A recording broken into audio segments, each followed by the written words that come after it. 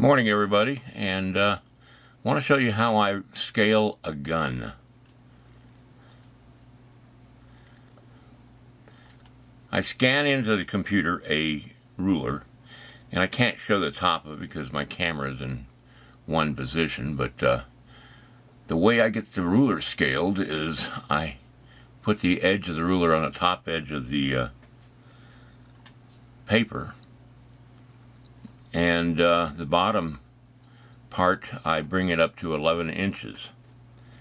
And uh, that's how I scale my ruler for the page. And now I bring another ruler in that I've scaled. And uh, now that I got the scale for that I bring this up to there and uh, let me explain. The average size of a head from top of the head to the bottom of the uh, chin is about eight and a half inches. This is a smaller ruler that I'm going to scale everything up with or down with or whatever. Uh, the head size on the piece I'm working on is three inches from top to there. So what I do is I take this ruler and I keep compressing it till I get eight and a half inches. So now I've got this ruler scaled to eight and a half inches uh, for the three inch head measurement since everything's measured in head measurements. And so this scales this ruler down to uh, eight and a half inches matching the three inch mark. This automatically scales this ruler here uh, to the size of the head of the uh, ar armature that I'm working on.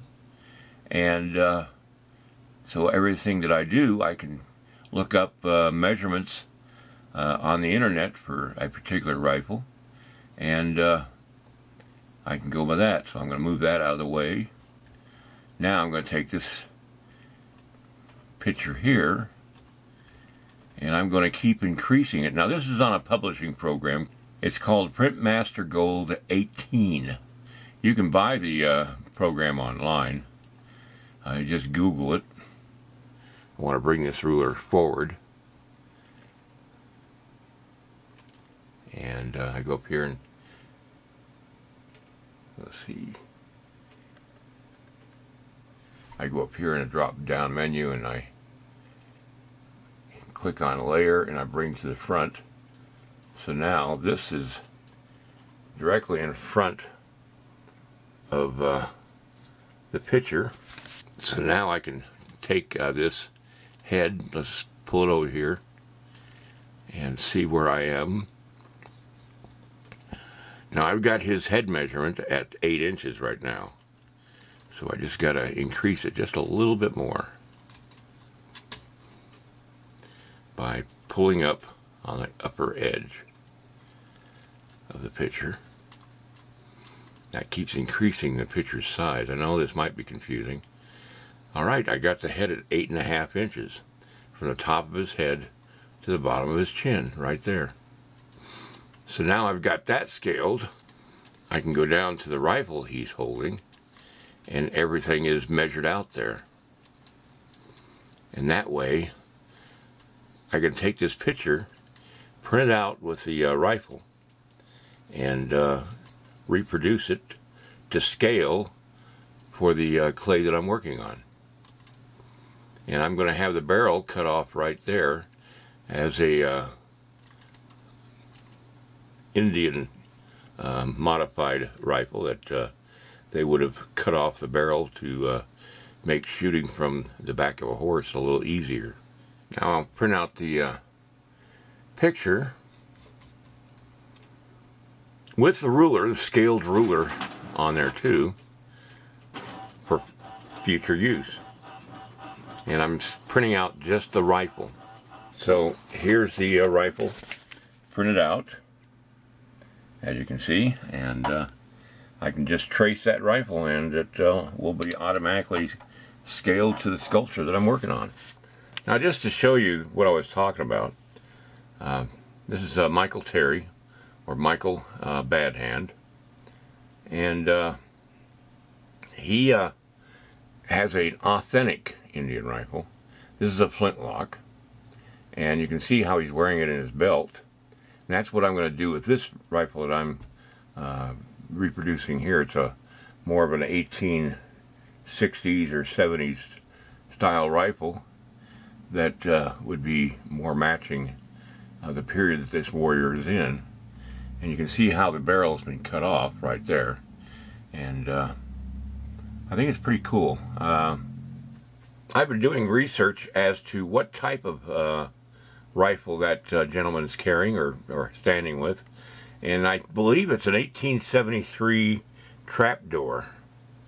Uh, U.S. Springfield. Uh, and uh, it's a military weapon that could have been taken off the body of somebody he had uh, killed. And I'm just looking for details. Um, and this is the rifle that matches the look of the rifle that i am looking at in the photograph. And uh, there's the lock system, and it gives me good detail for that. And I'm saving the pictures, and I print them up, and I'll use those as reference for when I sculpt the uh, rifle. I'm not going to be putting a lot of detail into it because, well, I will on the part that will be sticking out of his belt, and that can be seen. That's uh, what I'm going to Let's see, that's a trap door right there, and that's uh, what that, where he gets the name for that particular rifle. And it would be in keeping with uh, cavalry on the plains uh, fighting against the Indians. Now here's a, a diagram of uh, how the lock system worked, I guess. Oh, that's an 1868 uh, Springfield there. But anyway, I'm just uh, continuing to research uh, what I'm going to do, and then uh, I will uh, go to the hardware store and uh, get me some wooden dowels that would match the size of the barrel of this particular uh, Spencer's rifle, or Springfield rifle. He might carry a pound, if he didn't carry a belt or wear a belt with the uh, ammunition in it, I'm thinking he'd probably have them in a bag that he could just, you know, reach into and grab a few shells and put them into the rifle. There's a shell right there. They're pretty big shells. Uh, pretty powerful gun.